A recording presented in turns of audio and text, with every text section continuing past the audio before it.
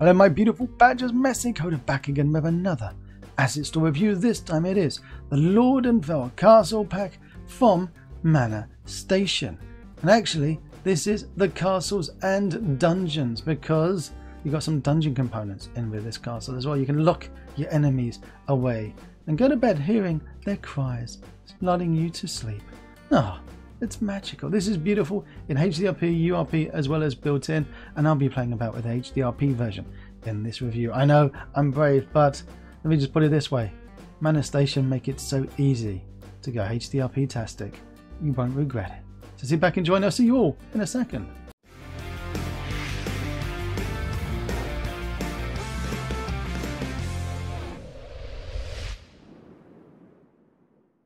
Today we are playing with Mana Stations, Lordenfel, Castle and Dungeon Pack on the Unity Asset Store.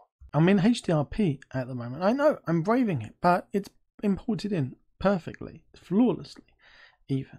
Um, I have to say I'm using the old standard assets because throwing them in, I prefer them to the new ones. I'm able to run around inside this castle beautifully. I also made a package. I actually built made a build using this and it performs so much better outside of the editor as well. You get some little hiccups of the editor uh, that you don't get outside when you build with Unity. Saying that. Now, it is it's so good, it's making my fan on my computer whirl. You might hear a noise humming in the background, and that's my fan telling me, you're in HDRP. You need to be able to have a little bit more power on your on your old graphics card. Look at this. It is stunning. We're inside the um, the first one, uh, it's called Overgrown Ruins, this scene. So, Overgrown Ruins. They've got a fortress scene as well.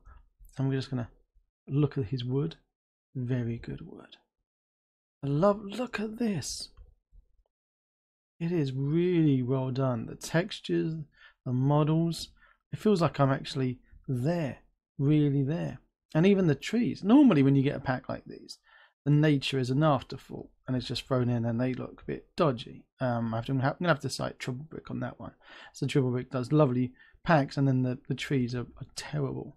These trees actually are really nice and you get good texture on them as well and the branches, the leaves are probably on there. Nothing's floating about randomly. The grass is good. Obviously, you need to do the fix inside HDRP so you don't get luminescent grass and things. But once you've done everything looks beautiful. Now, I know you're thinking this is a massive castle. It must have taken him ages to put this together. It probably did. But do not worry, you can use DunGen or Dungeon Architect to procedurally generate amazing castles and dungeons using this pack because you get the presets with Lordenfel Castle from Mana Station. Thank you, Mana Station. A little bit more effort at the start to get going, uh, but it makes your life so much easier in the long run. Look at these vines around here and how they're moving with the breeze. Beautiful. Um, wow. It's lovely. Oh. And here, open up the chest. Get some treasure. Oh, no, the chest does open. Let's pause it for a second and pop over. Here. Yes. Yes, it does. It's static, so we, we can't do that at the moment. But it does. Look at that, separated. Wonderful. Wonderful. So you get over 500 beautifully quality, beautiful quality models in this pack.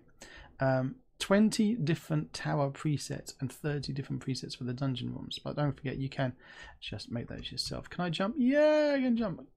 Oh, that's painful. So he's got presets already done for the DunGen and dungeon architect to make your life easier to get going. Look at the moss on there. Oh, beautiful. Really nice. He says that you've got a complete nature set. So it is. Eh? You've got trees and plants and grass. You've even, you've even got this little torch here to light your way at night time. Should we can pop into the other demo scene? Oh, a little sneak peek in here. You can look in through there. Look at that metal.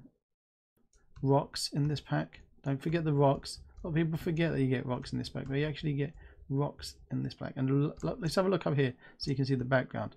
Snowy mountain background that you get as well. Now while we're up here, we can see the roofs. Look at that. That is lovely. Let's sneak in around the back. See if we can sneak in around the back. It's always good. It's always good to sneak in around the back. No, no one can see you coming. There we go. Oh no! I fell down! That's, oh, I fell down again. I'm terrible at this. This is why I don't play these type of games. Right, see if we can get up. Come on. Then we're going to pop into the other demo soon. Yes! Oh! We're up. Look at the tiles. Oh, wow. Look at the tiles. I love how he's got this, this damaged roof here and you've got the beams exposed. Oh, sneaking. We can look down there. Oh, we'll jump down there in a second. We will jump down there in a second. Just want to climb up here so we can see. Oh, nearly fell down. Beautifully done. And what's down in this hole? Ooh. Should we fall down there? Should we fall down? I feel, I feel like I want to jump down here. Wait, no, I missed it. Oh, I was trying to get onto that ledge and I missed it. Oh, complete numpty. Never mind. Wow, this is a massive demo scene. It really is. It's a huge demo scene. So, let's pop into the other one as well. This is huge. I always get scared when you see a massive demo scene like this. You're like, oh, it's it's fliptastic, and it is fliptastic. Try not to flip it though. And let's go to the Sky Fortress. Dun dun dun. Sky Fortress scene. Now, why is it called a Sky Fortress? Well, that's because it's uh, a fortress floating in the sky. There you go. Uh, that's, that's why it's called a Sky Fortress. And here you can see the walls that haven't crumbled. Well, here's a wall that crumbled down. Here you can see the walls that haven't crumbled down. They're fine. Although they've been they've been attacked, the, the catapults have brought this wall down. Let's go up into the tower.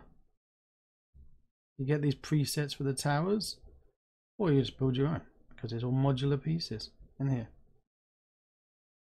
What do I think of this pack? I think it's beautiful. Full price. It is $120. Well, one cent shy of $120, so it's very expensive. Uh, half price at the moment, $59.99. So worth getting it while you can for the last couple of days. Literally, it ends on the 9th of August. So you've got two days left to get this on a 50% sale if you're watching this video now, as I've uploaded it today.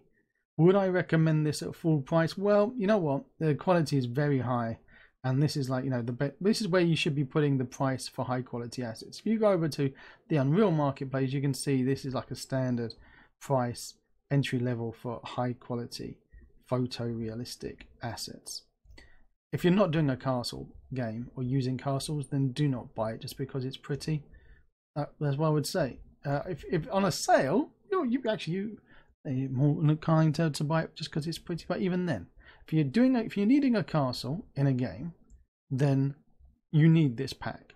I can't basically say any better than that. If you're doing castles in Unity, and this is also on Unreal as well. So if you're doing castles in Unreal or Unity, you need this pack.